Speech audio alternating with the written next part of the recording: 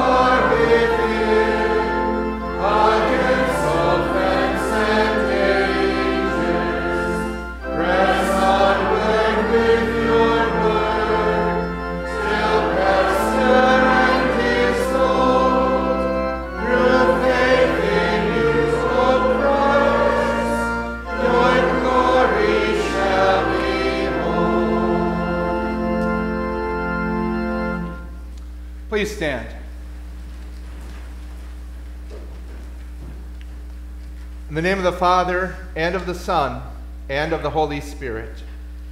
Amen. If we claim to be without sin, we deceive ourselves, and the truth is not in us. If we confess our sins, God is faithful and just, and will forgive us our sins, and purify us from all unrighteousness. Let us confess our sins to the Lord. Holy God, gracious Father, I am sinful by nature and have sinned against you in my thoughts, words, and actions. I have not loved you with my whole heart. I have not loved others as I should. I deserve your punishment both now and forever. But Jesus, my Savior, paid for my sins with his innocent suffering and death. Trusting in him, I pray, God have mercy on me, a sinner. Our gracious Father in heaven has been merciful to us. He sent his only Son, Jesus Christ, who gave his life as the atoning sacrifice for the sins of the whole world. Therefore, as a called servant of Christ, and by his authority, I forgive you all your sins in the name of the Father, and of the Son, and of the Holy Spirit. Amen. In peace, let us pray to the Lord. Lord, have mercy. For the peace from above and for our salvation, let us pray to the Lord. Lord, have mercy. For the peace of the whole world, for the well being of the Church of God, and for the unity of all, let us pray to the Lord. Lord. For this holy house and for all who offer here their worship and praise, let us pray to the Lord. Lord, have mercy. Help, save, comfort, and defend us, gracious Lord. Amen. The Lord be with you. And also with you. Lord Jesus, by your gracious coming into the world, you destroyed death and made all things new. Grant that we may never tire of proclaiming your salvation to the ends of the earth. For you live and reign with the Father and the Holy Spirit, one God, now and forever. Amen. Please be seated.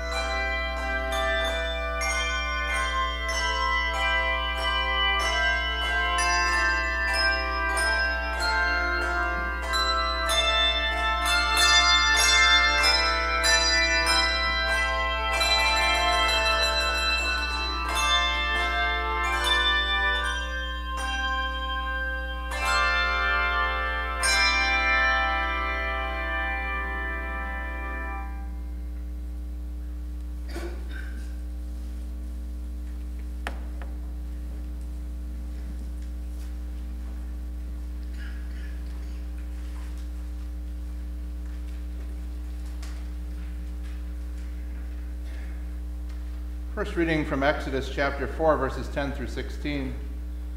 Some of the themes in the readings today might seem a little unusual in a different setting, as we are reminded that as human beings, certainly we have our weaknesses, and it's only the power of God that really allows us to do the work that He calls us to do. We recognize that uh, the mouths that we are given, the tongues that we are given to speak God's word are from God Himself, and the word and the power of the word is the working of the Holy Spirit.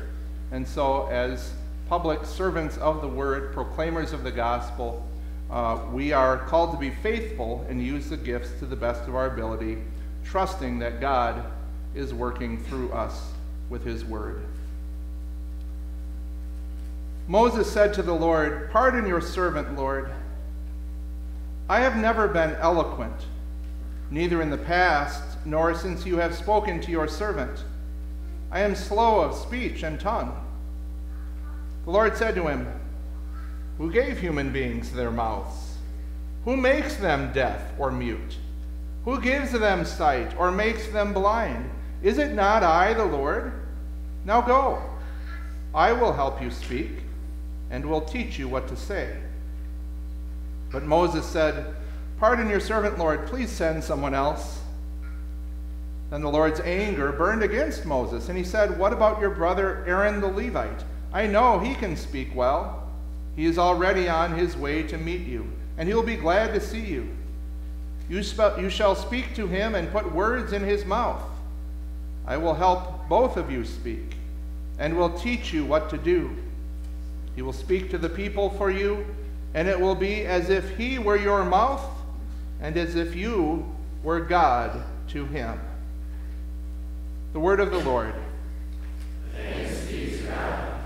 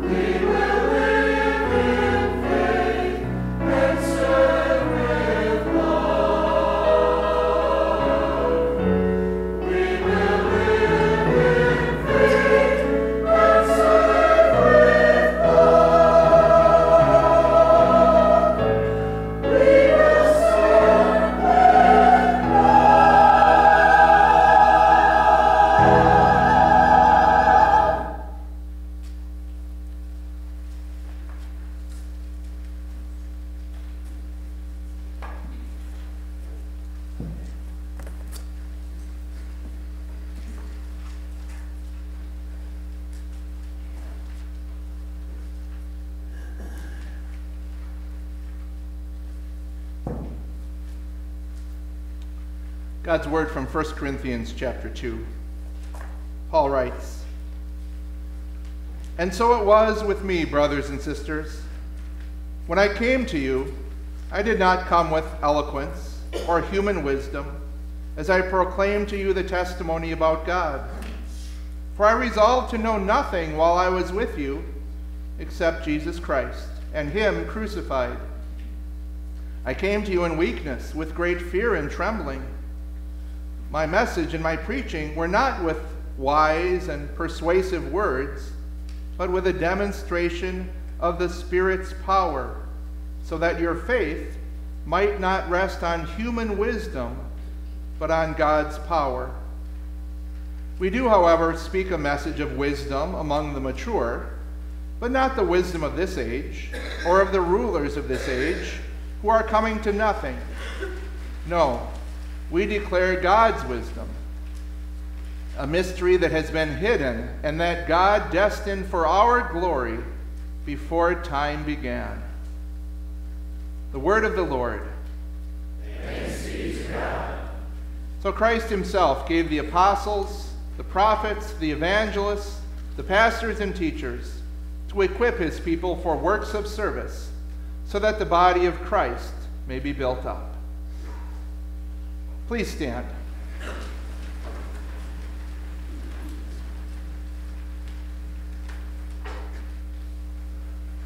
The gospel recorded in John chapter 15. Jesus says, I am the true vine, and my Father is the gardener. He cuts off every branch in me that bears no fruit, while every branch that does bear fruit, he prunes, so that it will be even more fruitful. You are already clean because of the word I have spoken to you. Remain in me, as I also remain in you. No branch can bear fruit by itself, it must remain in the vine. Neither can you bear fruit unless you remain in me. I am the vine, you are the branches. If you remain in me and I in you, you will bear much fruit. Apart from me, you can do nothing. If you do not remain in me, you are like a branch that is thrown away and withers. Such branches are picked up, thrown into the fire, and burned. If you remain in me and my words remain in you, ask whatever you wish, and it will be done for you. This is to my Father's glory, that you bear much fruit, showing yourselves to be my disciples. The Gospel of the Lord. Praise Please be seated. The hymn of the day is a special hymn. Uh, we do not have the music printed out for you. Hopefully, the melody is, is catchy enough for you to sing along with.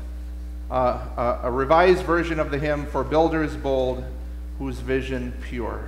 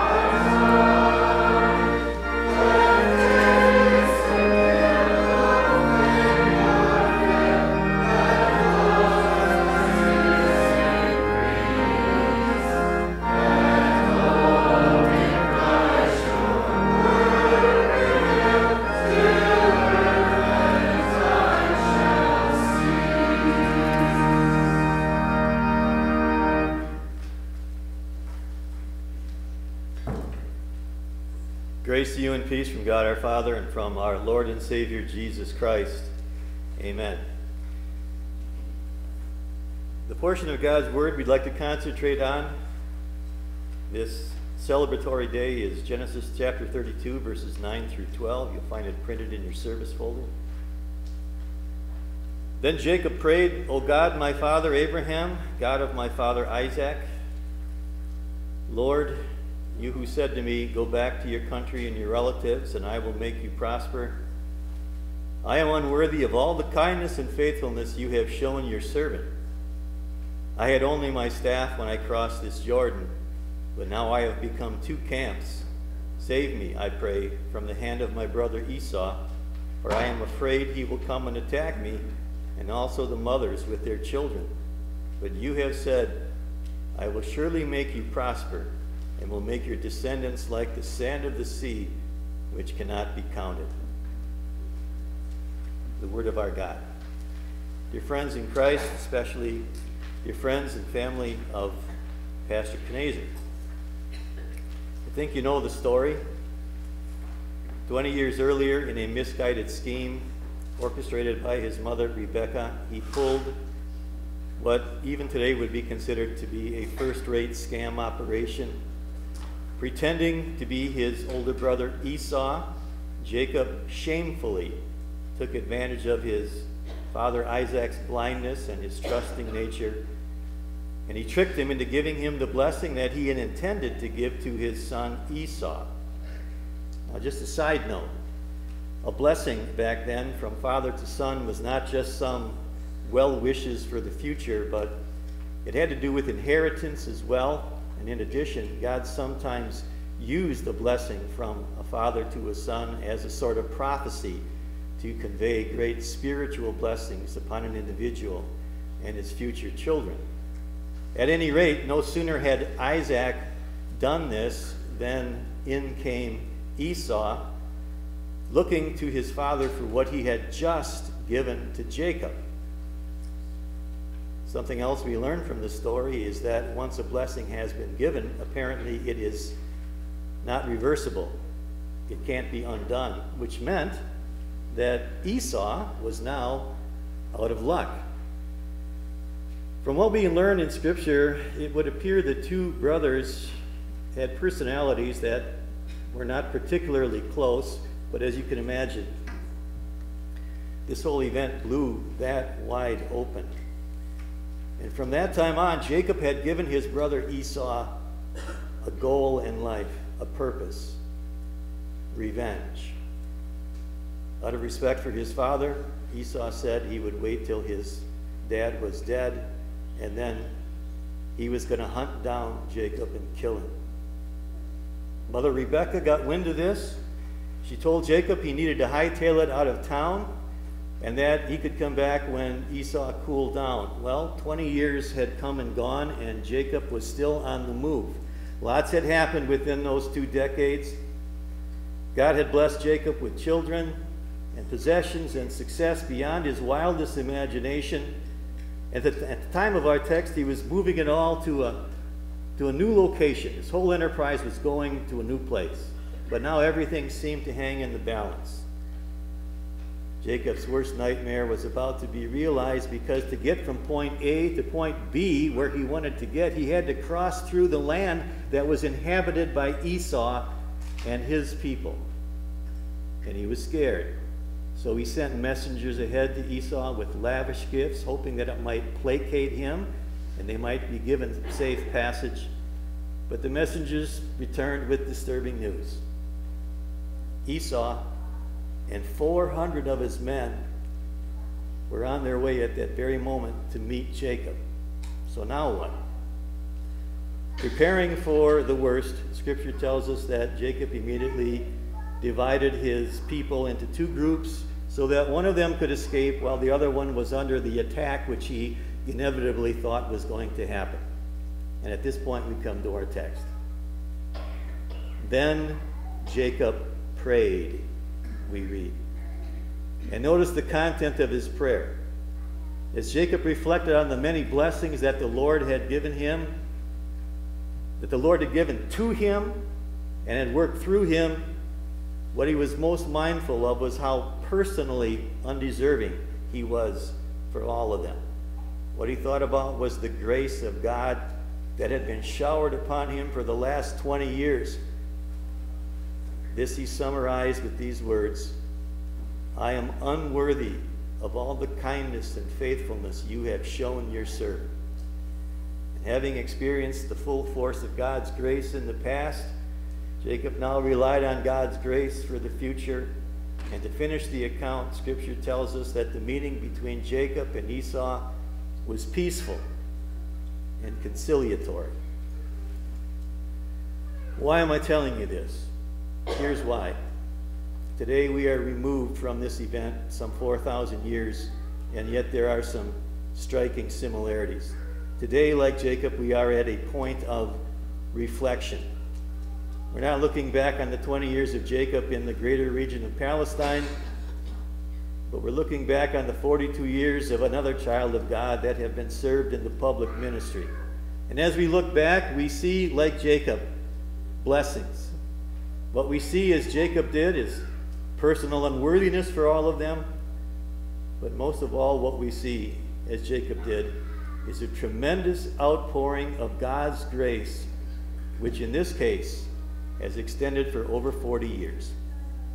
So, this is what this service is all about, really. It's a celebration of blessings.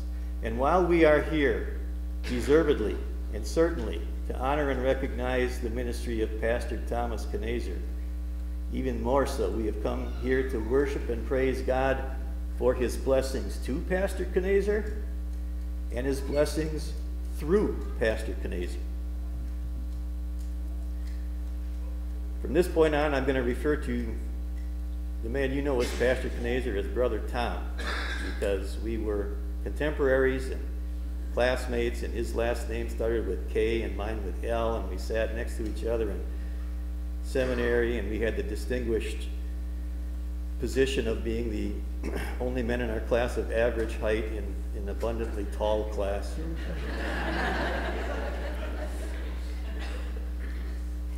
but Brother Tom, the first and greatest blessing which God has bestowed upon you is something which precedes your 42 years of ministry, something that goes back to your upbringing and the family that you were born into. The Lord, in your grace, in His grace, gave you godly parents and placed you in a godly family. And through the baptism, through the waters of baptism, He brought you into His kingdom. Not only that, He nurtured you in the faith through Christian education, first in grade school, then in high school, then in college, then in seminary. But here's the thing you did not choose to be born into that family, nor did you choose to come to faith in Jesus as your Savior. All those arrangements had been made beforehand by a good and gracious God. And you know well that passage from Ephesians. It is by grace you have been saved through faith and this, this faith is not of yourselves, it's the gift of God, not by works, so that no one can boast. That you and all of us here today are able to call ourselves Christians and jointly declare our sinfulness, yet our unwavering confidence that our sins have been forgiven through the life, death, and resurrection of Jesus Christ, that's possible for only one reason God's grace. So, God's first and most gracious blessing to you and all of us is that we can call ourselves children of God. But in addition to being raised in a Christian family, a second blessing which God has bestowed upon you, Brother Tom, is your own personal family. When Jacob thought, it's interesting to note that when Jacob thought he was going to be under attack, his his first thoughts turned to protecting the family that God had given him. And you also have been blessed with a family. In fact, you've been doubly blessed with a faithful family. You've been blessed with a faithful and supportive wife. And again, a side note, we all know that you married up. God's given you children and now a grandchild. And what you all share together is not just a common name, but a common faith in Jesus Christ. And this is a blessing. That's grace, pure grace. But there's even more. There's also your church family. For 32 years, the past and present saints of Woodlawn Lutheran Church have been involved and intertwined in your life and the life of your personal family, just as you have been involved and intertwined in their lives. You literally have grown up together, together sharing the inevitable joys and sorrows that accompany life on this planet. And this then calls to mind one particular blessing that God has given you, and the one that we are recognizing today namely the fact that he chose you and called you and gave you the privilege of serving him in the public ministry. First as a vicar in Wisconsin Rapids, then out of seminary, assigned as a pastor to a group of saints in Indianapolis, then as a pastor to the people of Rice Lake, then for the majority of your ministry here at Woodlawn, and now going forward in a reduced but no less important ministry role at the newly formed West Allis Congregation of Living Hope. And along the way, Lord has also used your gifts and your talents for the greater church in various circuit, district, and synodical positions, all of which raises some introspective questions which only you can answer, such as, is there a higher privilege than being able to devote oneself to the full-time work of the Lord? Is there a more important task than proclaiming the life-giving message of a crucified but risen Lord Jesus Christ as the world's only Savior from sin? Is there something of higher value than to be engaged in a profession where mere mortals have the honor of working with Almighty God's divine word and sacraments? And I know that you know the answer to those questions. That being said, when any minister looks back on his years of ministry, be it one or 10 or 42, he's struck with two things. First is his personal unworthiness and inadequacy to do what God has called him to do. And the second thing is God's amazing grace in letting him and choosing him to do it. In his second letter to the Corinthians, the Apostle Paul refers to himself as a minister and to all future ministers as being jars of clay. And any minister worth his salt fully understands what he's saying. He was talking about the imperfect vessels God uses to pour out the treasures of his word upon his people to preach and to teach and to handle the word of the living God, the maker of heaven and earth, our sanctifier, our redeemer, our provider and protector. Who's worthy of that? Not me, not you. Yet God in his grace has given you that privilege for 42 years. And not only has God given you that privileged task, he's also sustained you in it for 42 years. You know what they say about privileges? Along with privileges come responsibilities. You probably told that to your children the first time you gave them the car keys, right? And the responsibility that God entrusts to his ministers is to be faithful to their calling and faithful to his word. And sometimes doing that is not always easy, it's not always popular. God never said it would be. So I would guess that within those 42 years were more than a few sleepless nights because of decisions that had to be made or discipline that had to be carried out. Within those 42 years, you probably experienced, like all ministers, some periods of self doubt or disappointment or the loneliness that often accompanies leadership. Within those 42 years, and in various ways you've undoubtedly endured your fair share of times of trial and testing. But God is faithful. And during those times, God, in His grace, was always there to sustain you and uphold you, and through His word encourage you to carry on. And you did. And as God has given this great blessing of the ministry to you, He at the same time has brought great blessings through you. In fact, in Isaiah chapter 55, God tells us in His Word that His Word will not return to Him empty or void, but it will accomplish what He desires and achieve the purpose for which He sent it. For 42 years, as Paul instructed Timothy, you have preached the Word in season and out of season.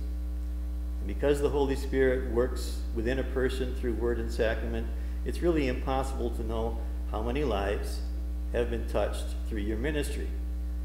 With a little research, however, we can come up with something along the lines of hard evidence. According to the official church records of Woodlawn Lutheran Church, supplemented by your own personal records, this is what we learn.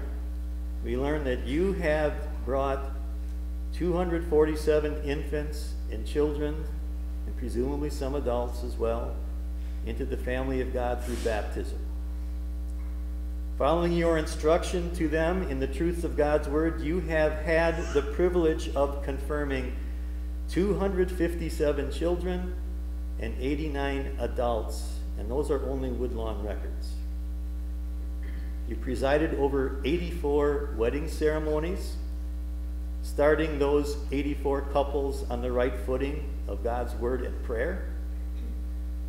And you conducted 136 funerals or Christian victory services, bringing the bereaved the full comfort of God's Word and the assurance that those who die in Jesus Christ never really die, but they simply move on from this world to their eternal home.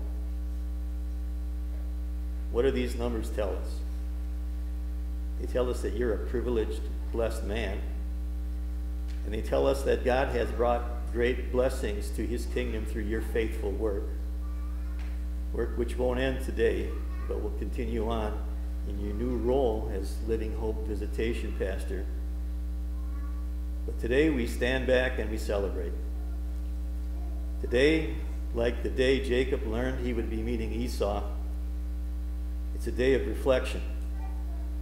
And what we find ourselves reflecting on is a 40 year, 42 year testimony not just of one man's hard work or various accomplishments or endurance, but what is first and foremost a testimony to God's grace. God, in His grace, has brought great blessings to you, and for that you must be thankful. But God, in His grace, has also brought great blessings through you, and for that we are all thankful. So may God continue to give you strength and health and vitality to minister until that time when you meet him face to face in heaven, at which time he will say, Well done, good and faithful servant. God grant it for Jesus' sake. Amen. And the peace of God that passes all understanding will keep your hearts and minds through faith in Christ Jesus. Amen. Let's continue by confessing our faith using the words of the Nicene Creed.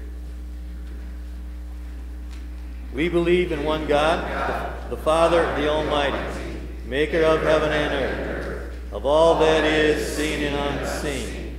We believe in one Lord, Jesus Christ, the only Son of God, eternally begotten of the Father, God from God, light from light, true God from true God, begotten, not made, of one being with the Father.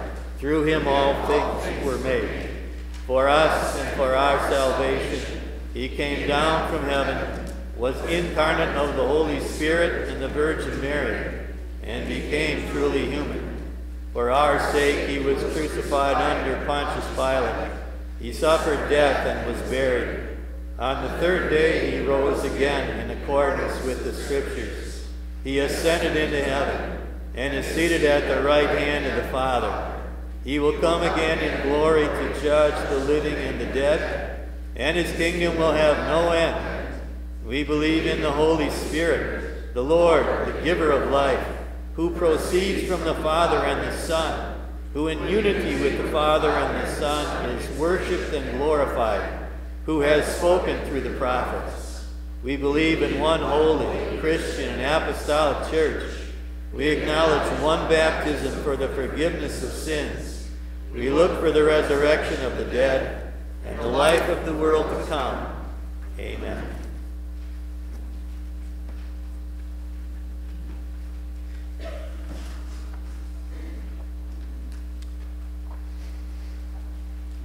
You beat me to it. I was going to invite you forward. Brothers and sisters, after many years of faithful service, Pastor Kneser is retiring from the full time public ministry of the gospel. Compelled by the love of Christ, he has labored in the Lord's harvest field and built on the foundation of the apostles and prophets, with Christ Jesus himself as the chief cornerstone. He searched the scriptures for guidance and strength and faithfully proclaimed the law and the gospel to us and to all he served. At the close of his ministry, we praise God for guiding and guarding him throughout his years of service. We remember how the Lord has blessed the church through his ministry, for the Bible urges us to acknowledge those who work hard among you, who care for you in the Lord, and who admonish you. Hold them in the highest regard and love because of their work.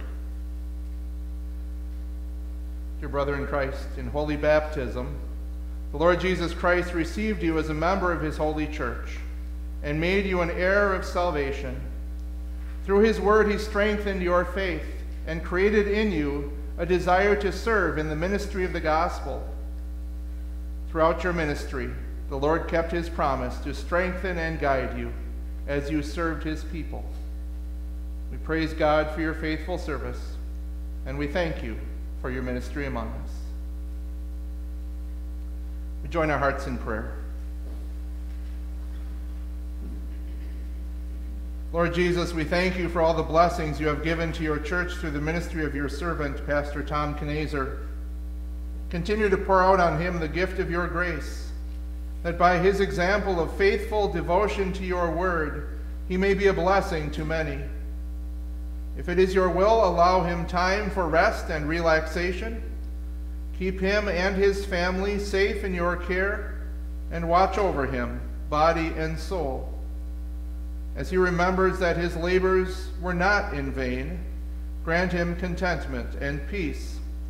For past blessings and future glory, lift his eyes to the cross of your Son, Jesus Christ, in whose name we pray. Amen. And now, dear brother, may the Lord keep you from all harm and watch over your life. May the Lord watch over your coming and going, both now and forevermore.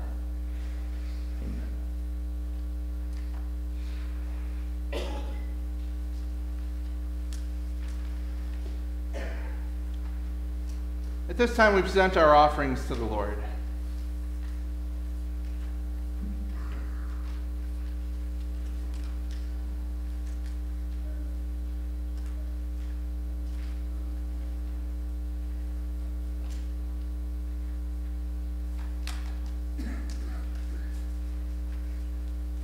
O Holy Spirit, enable each of us in our spirit to be fruitful in every good work Give us a love so deep that we will desire to share our possessions and be moved to give generous offerings to the glory of our Heavenly Father, who spared not his own Son, but delivered him up for us all.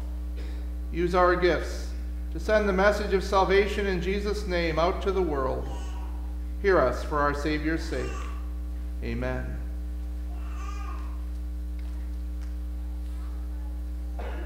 Please stand for the prayer of the church.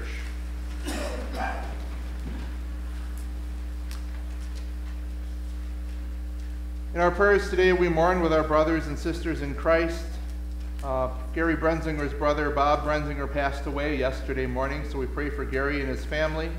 Uh, Marietta, Marietta Pausch um, passed away this last week. Her funeral uh, will be held at Good Shepherds on Tuesday morning at 11 a.m. Uh, she is the mother of Pam Hansen. Uh, we also pray for those who are deliberating calls at this time. Uh, the call that I've received, Pastor Oftenberg has also received a call to serve as pastor at St. John's in Fremont, Wisconsin, and we'll be issuing a new call this coming Tuesday, 6:30 p.m. at Good Shepherds for seventh grade teacher for Living Hope. Lord of life and death, we thank you for all the mercies with which you blessed our fellow believers in Christ, Bob Brenzinger and Marietta Pausch, who have now fallen asleep.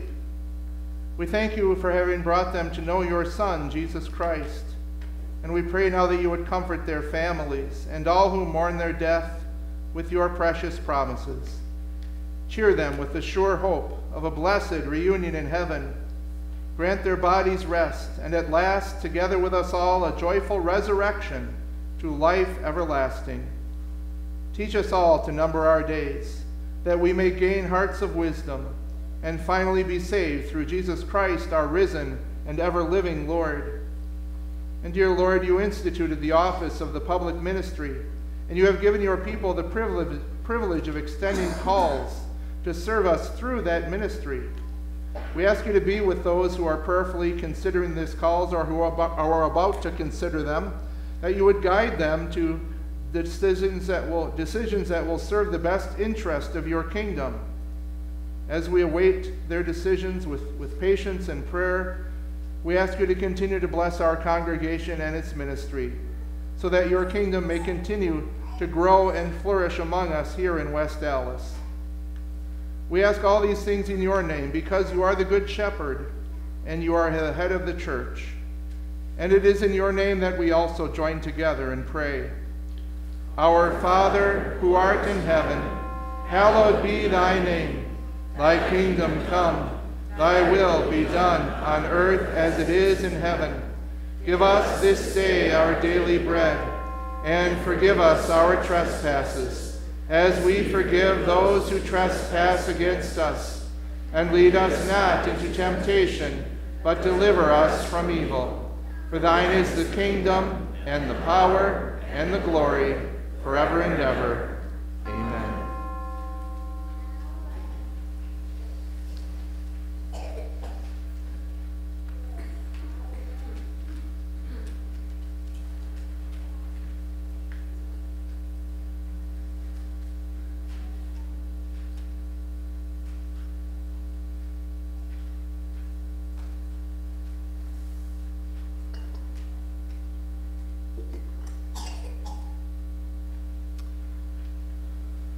Our Lord Jesus Christ, on the night he was betrayed, took bread, and when he had given thanks, he broke it, and he gave it to his disciples, saying, Take and eat. This is my body, which is given for you. Do this in remembrance of me. Then he took the cup, gave thanks, and gave it to them, saying, Drink from it, all of you. This is my blood of the new covenant, poured out for you for the forgiveness of sins. Do this whenever you drink it, in remembrance of me. The peace of the Lord be with you always.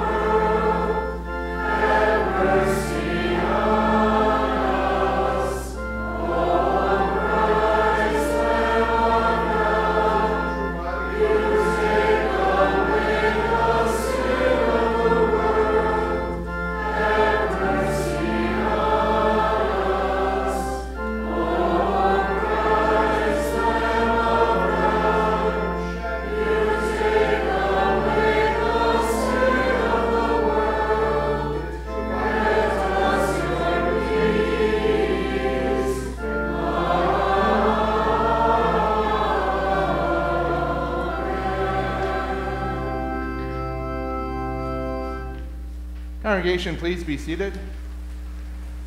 We'll have distribution on both sides of the church today.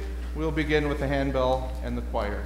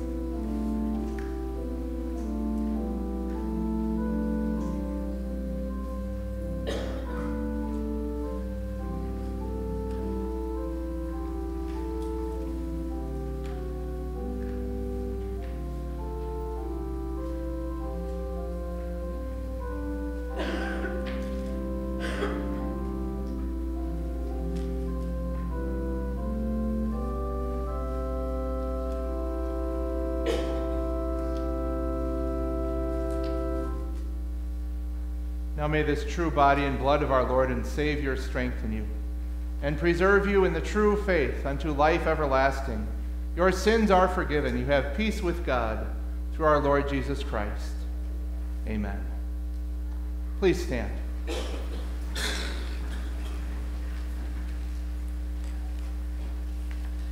Give thanks to the Lord, for he is good. His mercy. Whenever we eat this bread and drink this cup, we the Lord's death until he comes. We give thanks, Almighty God, that you have refreshed us with this saving gift. We pray that through it you will strengthen our faith in you and increase our love for one another. We ask this in the name of Jesus Christ our Lord who lives and reigns with you and the Holy Spirit, one God, now and forever. Amen. And now the Lord bless you and keep you. The Lord make his face shine on you and be gracious unto you. The Lord look on you with favor and give you his peace. Amen. Please be seated for our closing hymn.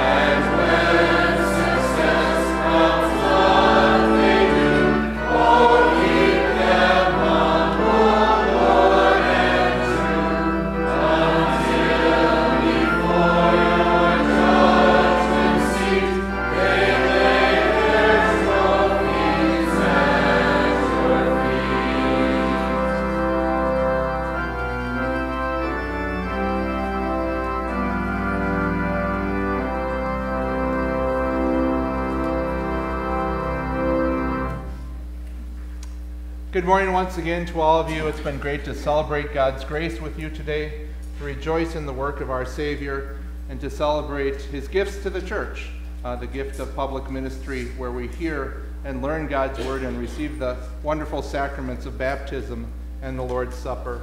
Uh, may God continue to bless us with faithful ministers of the gospel throughout our lives. If you are sticking around for the uh, meal and the program, it's going to be held in the Lamb of God Gymnasium at the other end of the building downstairs. So uh, if you're able to do the stairs, wonderful. Uh, we do have a wheelchair lift all the way down the hall. You can go down there, or if you're parked out on the street and want to come around to the back parking lot, that's certainly an option too. Just obviously be careful of traffic for those coming and going. Uh, but hopefully uh, this will all go smoothly and we can get started around noon-ish. Uh, I would ask Pastor Kneser and his immediate family to greet you as you leave today, as well as Pastor Leyrer and Chris, if you could be out there to greet those who are exiting the sanctuary, that would be great too. So Um, very thankful you could be here, Pastor Leyrer, to share this special message from God's Word for this special occasion.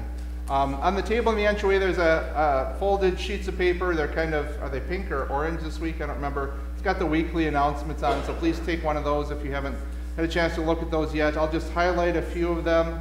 Um, so we've got Lenten services on Wednesday, 3:30 here, and at Good Shepherds. Good Shepherds is having the meal. Uh, I believe it's corned beef and cabbage this week. Uh, there's other options as well. So if you're planning on attending that, please sign up on the table in the entryway. Uh, they also have the late service, 6:30 at Good Shepherds. Also, this coming Friday into Saturday, teen lock-in, 7 p.m. Friday, 7 a.m. Saturday. Uh, lots of fun activities for 7th through 12th graders. If you haven't had a chance to sign up for that yet, please do so with the link in the, in the announcement or talk to one of our, our leaders, Jackie Schatzschneider, Amanda Davis, or Antri Klusmeyer.